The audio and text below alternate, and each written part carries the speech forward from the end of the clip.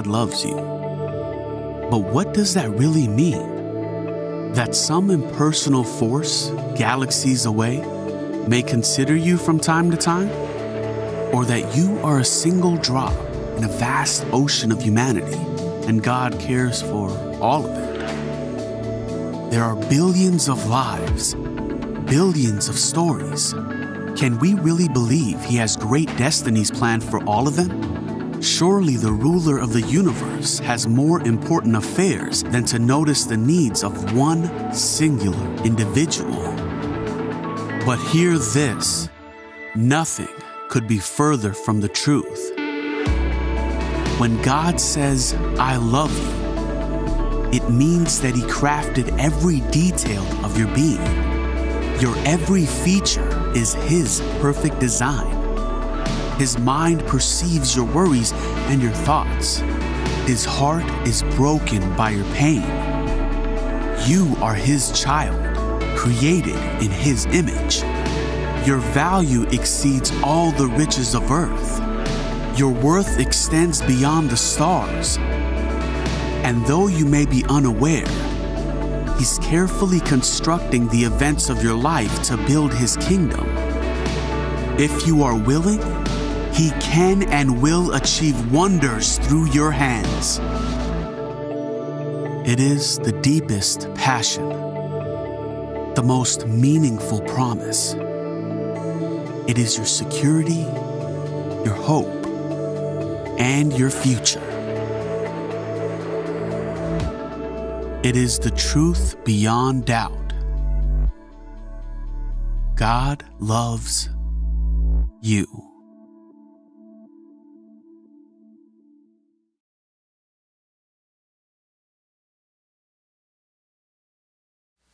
We're talking about the Holy Spirit. And I believe the Holy Spirit healed some people today. Amen. I believe it. I don't need to see or feel any kind of, I just, that's what faith is the substance of things hoped for, the evidence of things not seen. So I trust that God did what we asked Him to do. Am I making a weird noise? No. Okay, good. I'm just hearing things in my head. That's even worse, isn't it? Worse than making a strange noise is the fact that you feel like you hear it and it's not really happening. Hallelujah. I've titled this today, I Must Have the Holy Spirit. I want to tell you something. If there's ever been a statement that is true, I must have the Holy Spirit in my life. Look at your neighbor today and just say, You got to have him. You got to have him. You got to have him. You know, every difficult passage in the Word, if you ever read the Word, it's like, God, what you're asking me to do is extremely challenging. Lord, do you know the people I work with? Nobody's ever said that. God, have you met my neighbor? Have you ever said that? But I'm always brought to this conclusion. I must have the Holy Spirit. I must have him.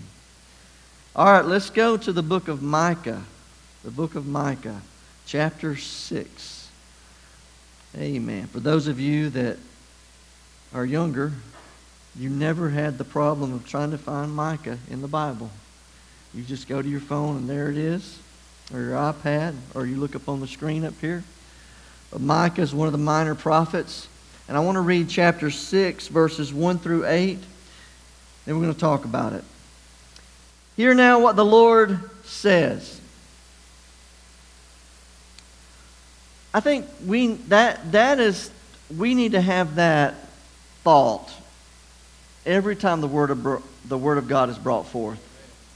Whether it's me or brother David or anyone you're listening to on the radio or TV or YouTube or whatever, if the Word of God is brought forth, I think our frame of mind, our thought, our heart should be saying, all right, listen to what the Lord says. Arise, plead your case before the mountains, and let the hills hear your voice. Hear, O you mountains, the Lord's complaint, and you strong foundations of the earth. For the Lord has a complaint against his people, and he will contend with Israel. Let me stop right there just for a moment. Micah, Micah didn't water it down. Micah brought it to you blunt, just like it is, not with sugar on top or anything else like that. He just brought it. And so he's bringing it. He's not putting, he's just bringing it. And he will contend with Israel. Oh, my people, what have I done to you? And how have I wearied you? Testify against me. For I brought you up from the land of Egypt. I redeemed you from the house of bondage. And I sent before you Moses, Aaron, and Miriam. Oh, my people, remember now what Balak, king of Moab, counseled, and what Balaam, the son of Beor, answered him from Acacia Grove to Gilgal, that you may know the righteousness of the Lord. With what shall I come before the Lord and bow myself before the high God? Shall I come before him with burnt offerings, with calves a year old?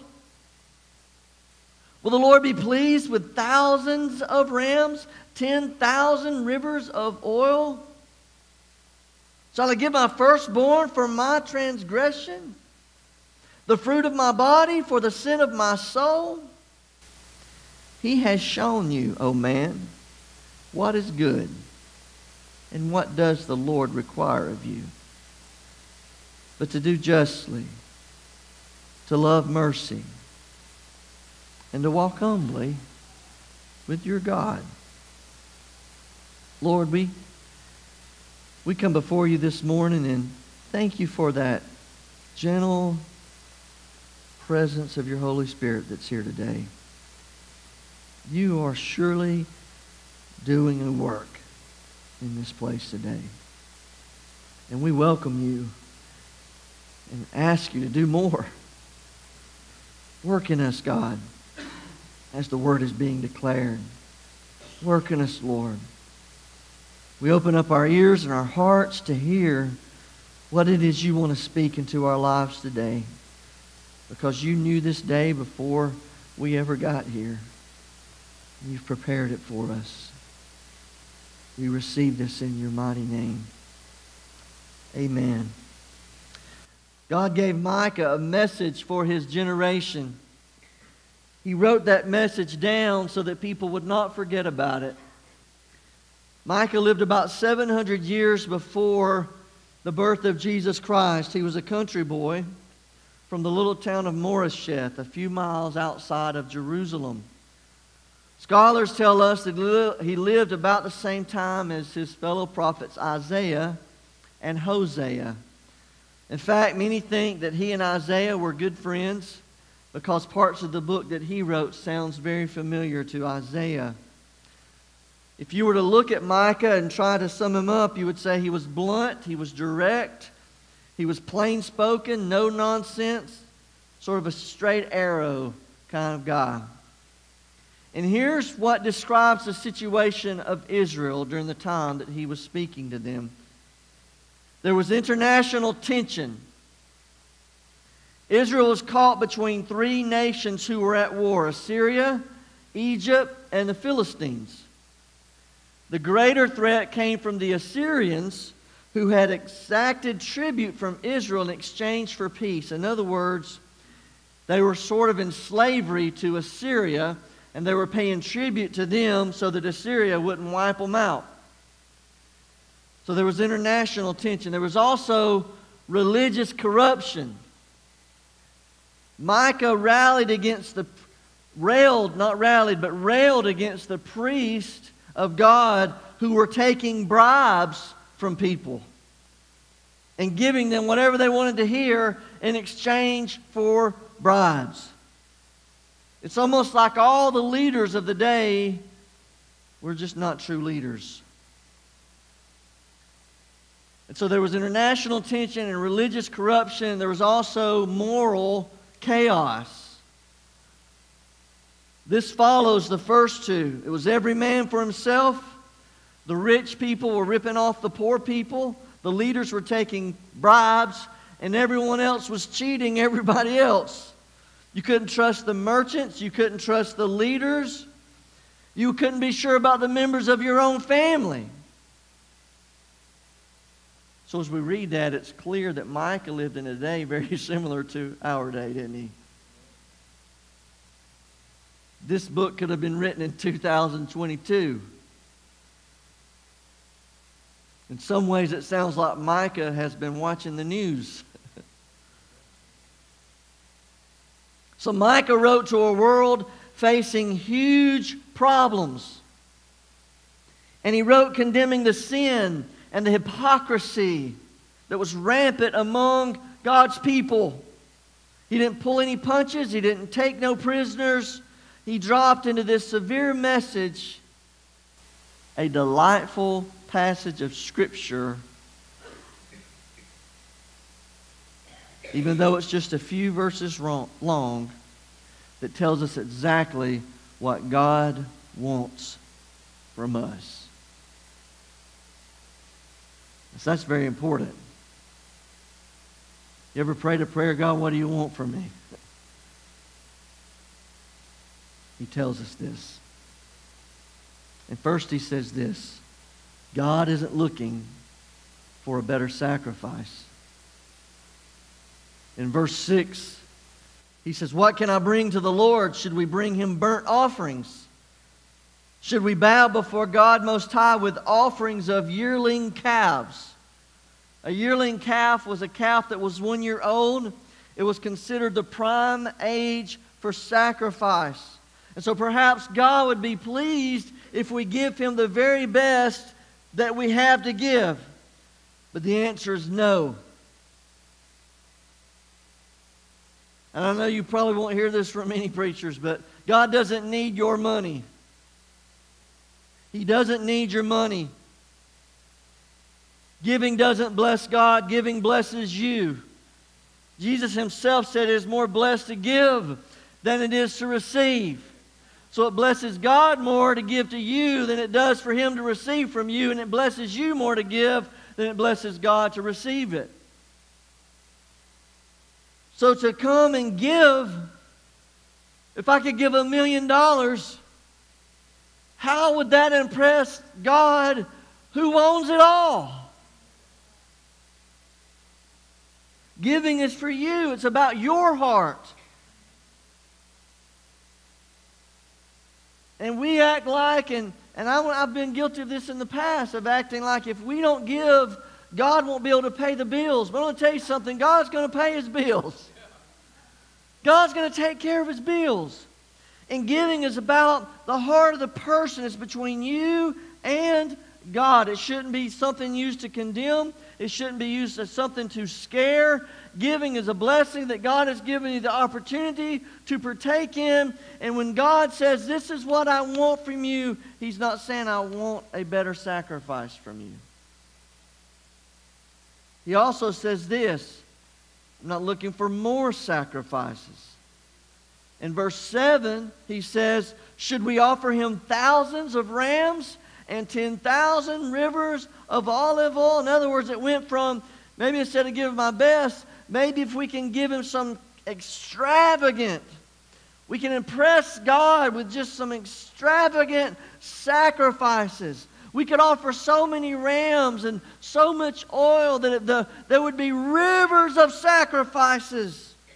And surely that would make God happy. Doing more always sounds like the right answer. But this is not on the top of the list for God. It's not that you give a better sacrifice or that you give more sacrifices. He also says God isn't looking for the supreme sacrifice.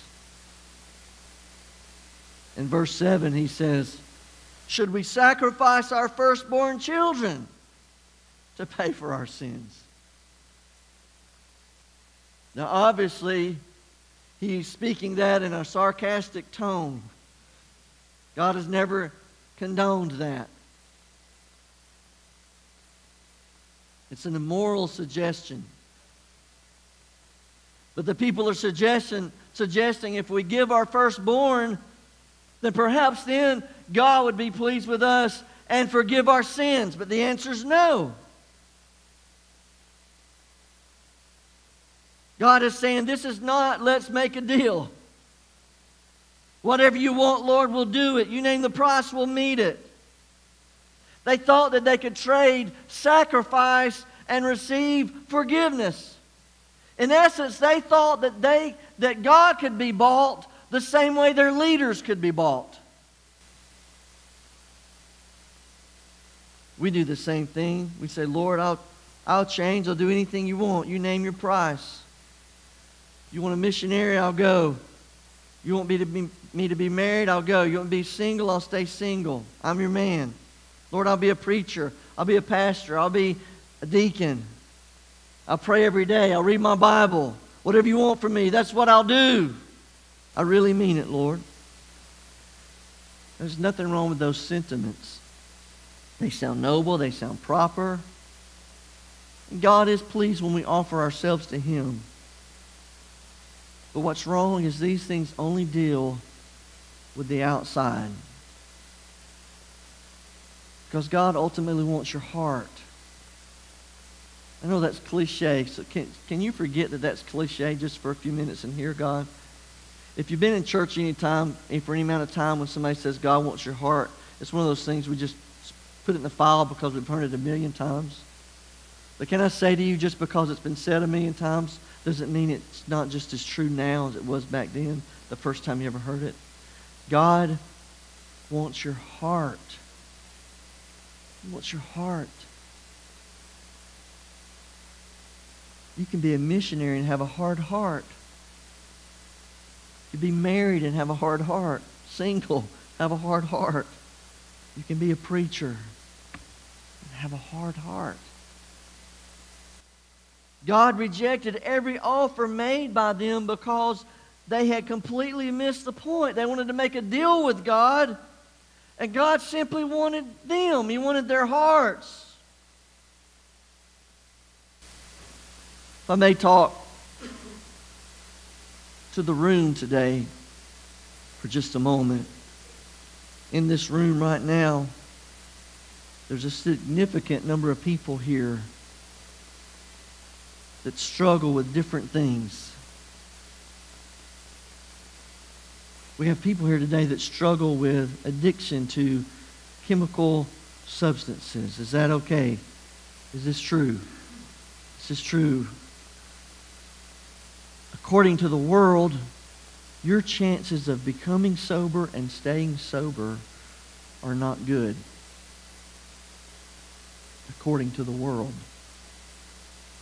You listening? Sounds like you're listening because it's very quiet. And we have a ministry here that increases those chances. And there are steps that illuminate the path that leads you to a place of freedom. That okay? And it's called Celebrate Recovery. And it takes the word and it illuminates the path that leads to freedom. But if I can just for a moment speak to you,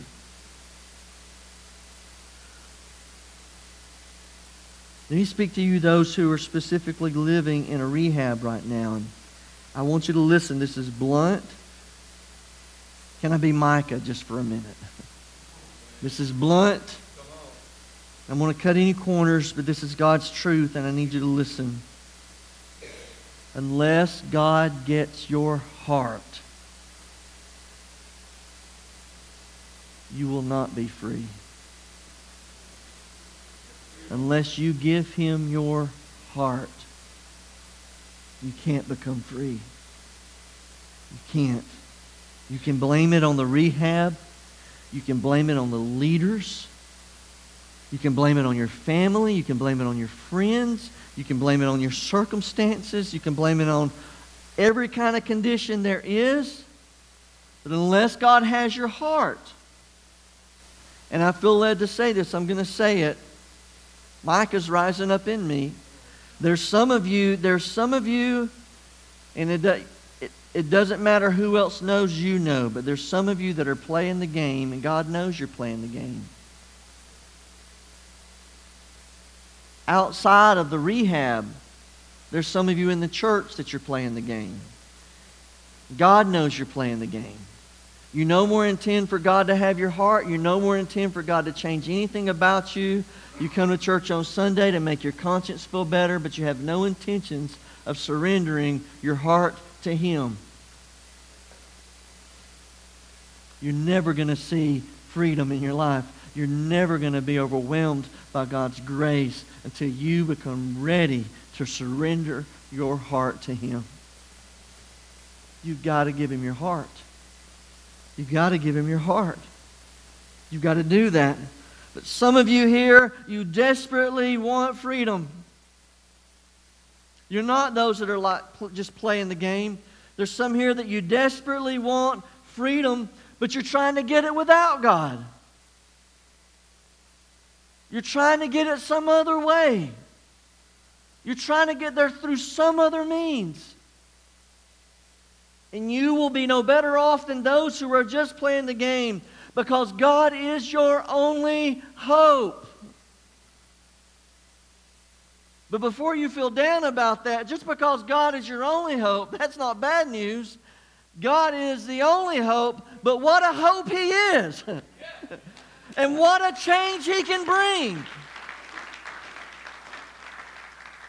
And although the world says that 3% can come out of addiction and stay in freedom, God says 100% who gives them their heart, He will walk with them through this life, and you will have freedom and grace that is more than sufficient. This world is battling odds of 3%, but God's at 100 the last time I checked.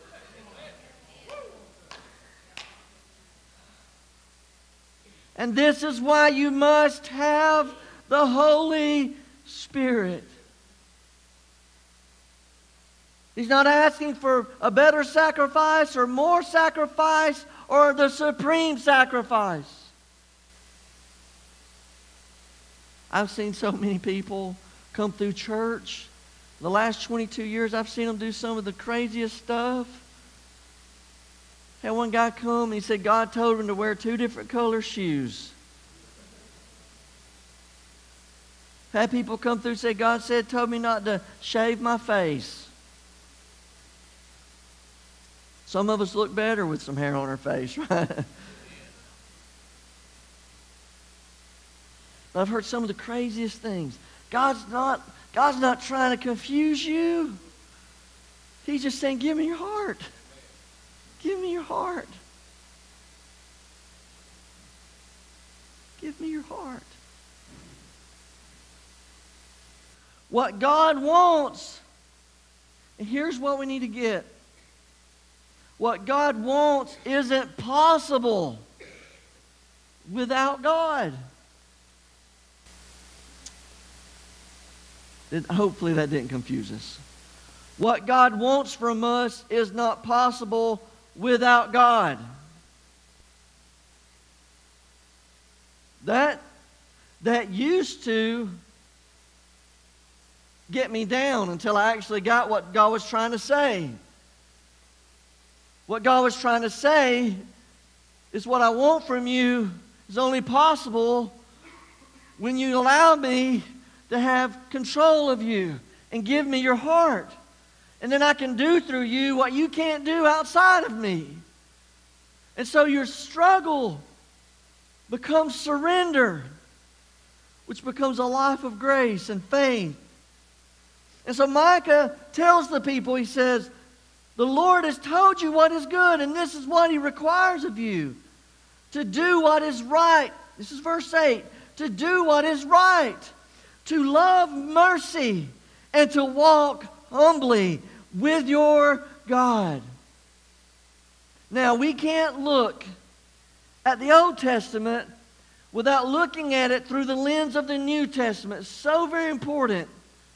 We do not live under the old covenant, we live under the new covenant. And so when we look at the old covenant, we need to look at it through the lens of that which is new. In other words, the gospel, Jesus Christ. And so this verse is not a way to make God happy. It is not the way to find salvation. It is not the way to earn God's favor. We need to see this first for what it is God was asking them to do what is right, to love mercy, and to humbly walk with God.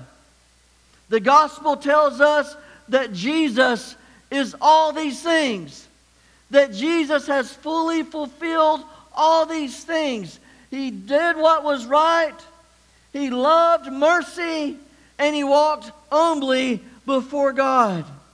And so, because of that, when we believe in Christ, we step into that place of righteousness because we are with Him who does what is right, who loves mercy, and who walks humbly with God. And now that we have His Holy Spirit, we can pursue these things that God wants from the place of sons and daughters. In the past, before we knew God, we may pursue these things, but not from the perspective of a son or a daughter.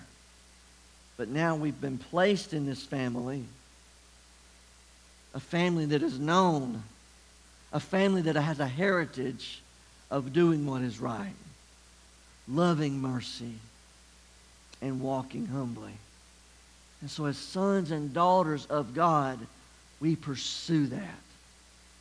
And we cannot pursue it or even come close to attaining it without the Holy Spirit. We must have the Holy Spirit. To do what is right is not possible without the Holy Spirit. This is talking about the character of God. And the Bible's full of examples of doing what is right. And doing what is right seems contrary to my flesh sometimes. My flesh doesn't want to bless people who curse me. Does yours? Come on. Does yours? I know it doesn't. You stop talking to them. You might even quit church over it. You'll cut ties completely if someone goes wrong, if someone goes against you, if someone does something wrong. It is not a natural thing to do to bless someone who is out for us,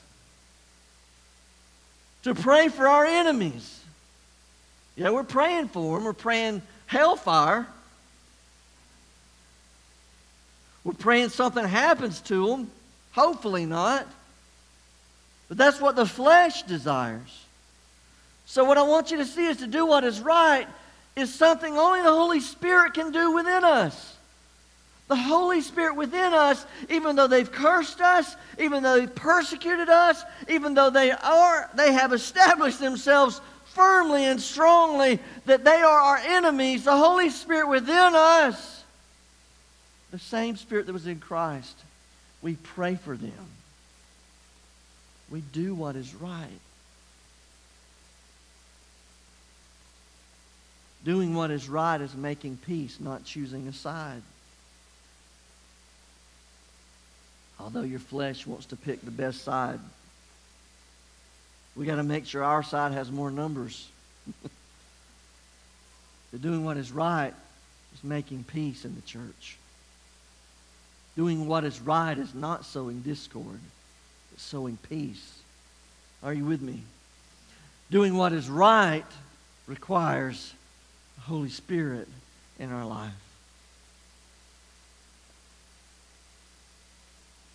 To love mercy is impossible without the Holy Spirit. The longer I've lived, I've come to find out that I love mercy for me, not as much for others. Right? But the Holy Spirit in me loves mercy for others every bit as it loves it for me. It is a Holy Spirit trait. It is a Holy Spirit characteristic. Mercy is a loyal love. It is a patient love. His mercy endures forever, is the way the Bible describes it. Many of the Psalms say it over and over and over again. It is forever, it is a patient, kind of merciful love that we're so thankful that God has for us. But the Holy Spirit in us is so thankful that God has it for our enemies, our friends, our family. It means loving the unlovely even when they don't love you back. It speaks to our obligation to care for people who don't care for us. Doing unto others as God has done unto you. I don't know about y'all, but God has treated me way better than I deserve. God has blessed. Has God blessed you? God has blessed me. Then bless others. Has God forgiven you? Then forgive others. But, Pastor, that's hard. Not to Holy Spirit. Not the Holy Spirit. It's who He is. Has God lifted you up when you were down? Lift somebody up when they're down. Has God overlooked your faults?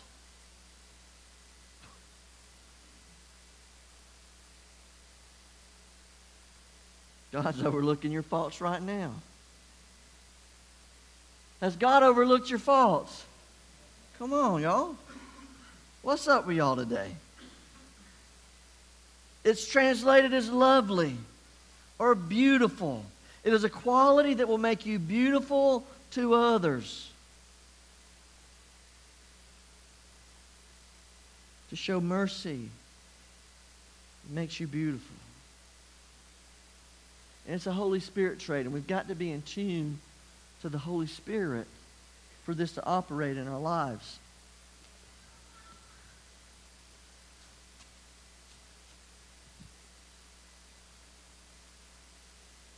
Anybody ever seen sign like this? Does anybody stop every single time?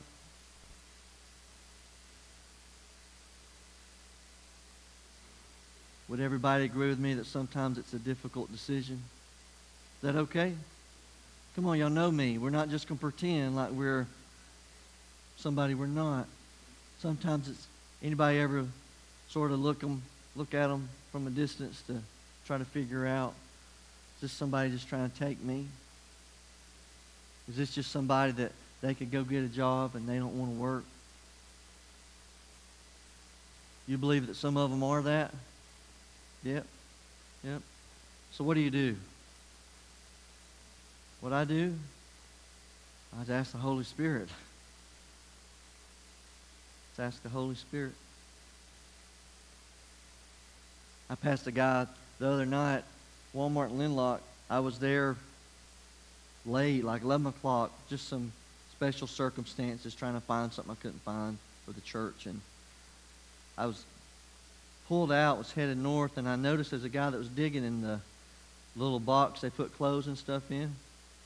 And he had his head down there. His feet was almost sticking out of it. He was so far down in there. And the Lord just pricked my heart said, I want you to go and give him some money. So I pulled up beside him and I said, What you need? He was very embarrassed, right? I I'm not here to embarrass you or anything like that. I said, I just felt Lord told me to turn around. I said, I done I I drove for like eight minutes before I finally listened to God. God's like, Are you really gonna go to bed tonight knowing you're supposed to do this? I was like, Oh, I'm sleep, I'm tired.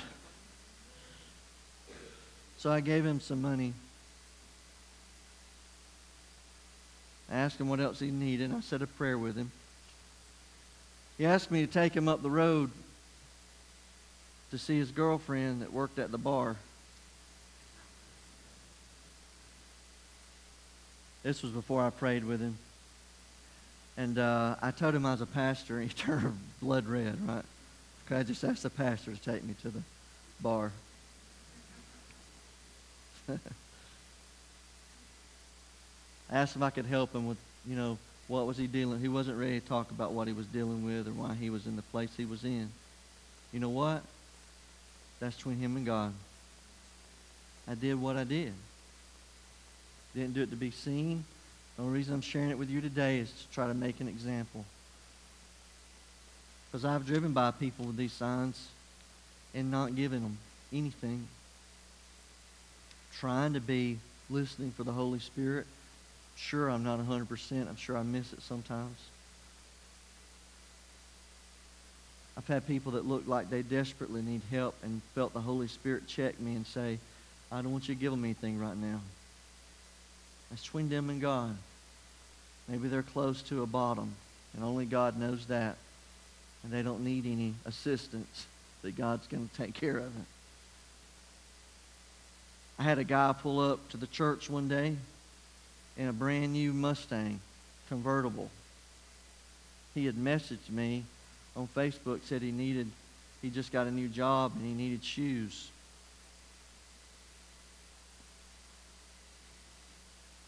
And the Lord, I felt like the Lord spoke into my heart said, I want you to help him. And so I'm going to help him with it. He pulled up in the Mustang. New convertible. Before I, I saw him pull up, before I walked out, I said, okay, God. He said, help him. That's between him and God. It's between him and God. I don't know how God, how, you're like, well, how's God going, I don't know how God's going to use that. It's not my problem. All I know is God knows the details that we do not know. And when you see this sign, don't draw conclusions. Ask Holy Spirit. That okay? There's other signs that people don't hold up, though. This one's obvious. Here's one. People don't hold this one up.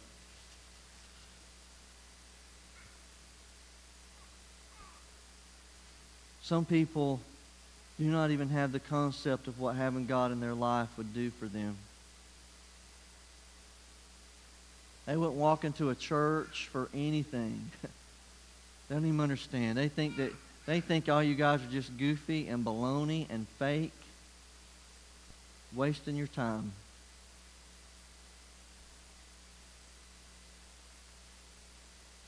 They might be in the political party that you don't stand for. They might be on the other side of the aisle of a, of a topic that you are completely against. They are without God. You know what? They're in the Bible in John 3.16. God said he loved the whole world. That he sent his son. So are we willing to have Holy Spirit let us know when somebody's holding a sign that needs help. We can't get past what they stand for or represent or what religion they're believing in or what God they're believing in or what they think about our stance. They need God. They need somebody to love them. Amen? And there's this sign.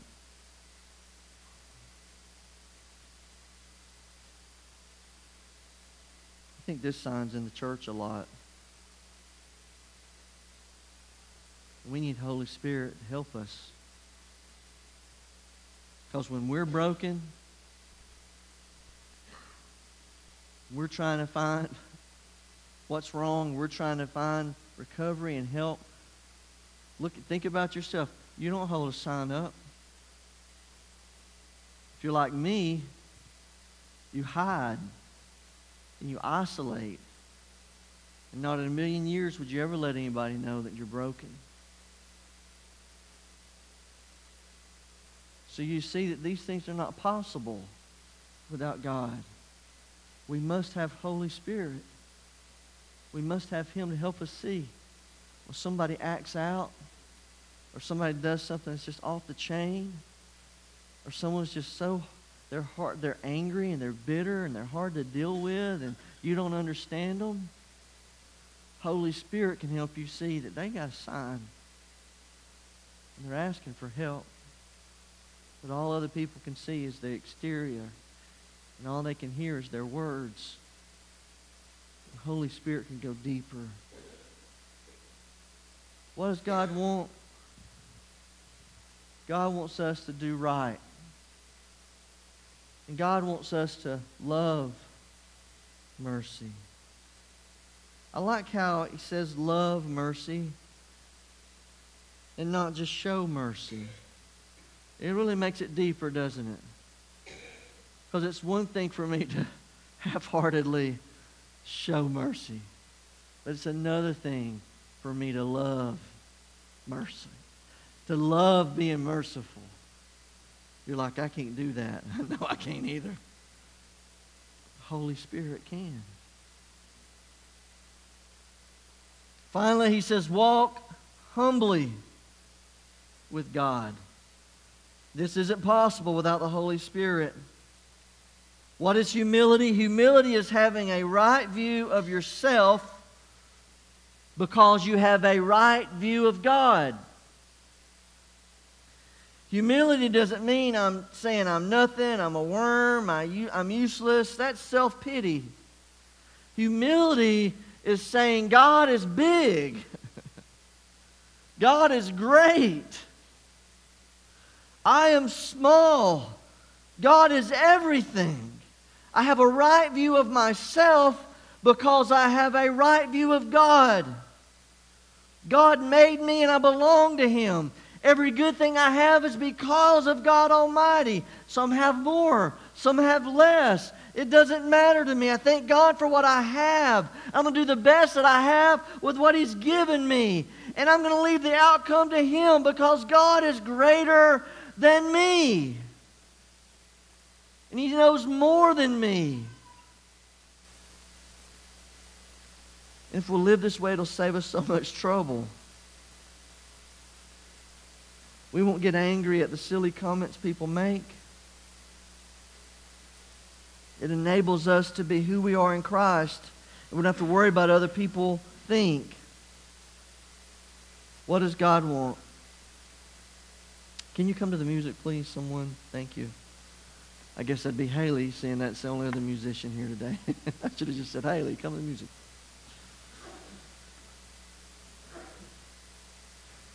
Do what's right. Love mercy.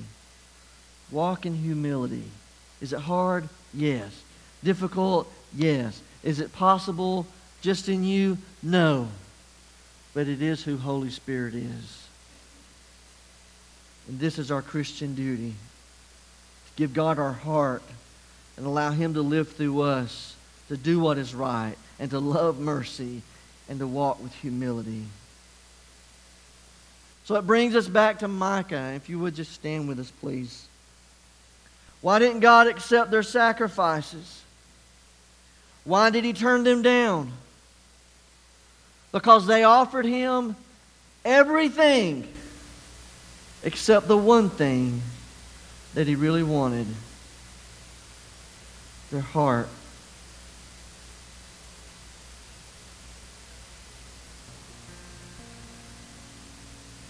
The promise of the Holy Spirit is found in Ezekiel, it's found in Jeremiah, it's found in Isaiah, it's found in Joel.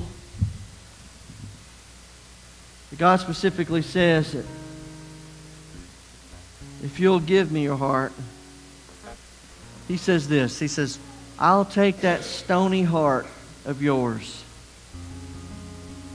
The one that won't bless those that persecute you, the one that won't pray for your enemies, the one that won't ask about the sign, what God would have you do. I'll take that stony heart and I'll put within you a heart of flesh. I'll put within your heart a desire to do what is right. I'll put within your heart a desire to love and show mercy. I'll put within your heart a heart of humility because you'll live out your life knowing that without God, you'd be who you always was. But with God, all things are made new. So, what I want to ask today is who in here have you never given God your heart? I didn't say, have you tried to work a program or have you tried to be religious? Tried to give? I'm asking you, have you, have you given him your heart?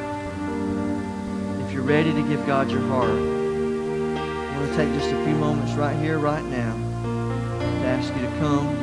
Take some boldness and some courage, I know. But if the Lord is drawing you, the Father is drawing you through His Holy Spirit, would you give Him your heart? Come on, and there's nothing, you're not holding anything back. Like, what's it going to look like when I give God my heart? I don't know. I don't know what it looks like. I know what it looks like for me, but I don't know what it's going to look like for you. He's not going to give you all those details. He's just saying, are you willing to are you willing to sign the contract? Are you willing to give me your heart? That's you today, gonna wait just a few moments. Who else wants to join this young man at the altar to give the Lord your heart?